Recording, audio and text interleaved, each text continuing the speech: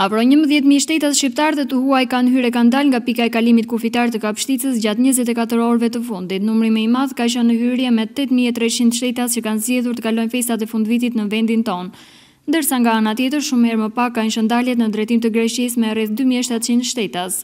Për të përballuar fluksin në rritje gjatë orëve të fundit pala jonë ka punuar me kapacitet të shtuar. Në këtë pikë kanë kaluar katër sportele në hyrje dhe kaq të tillë në dalje.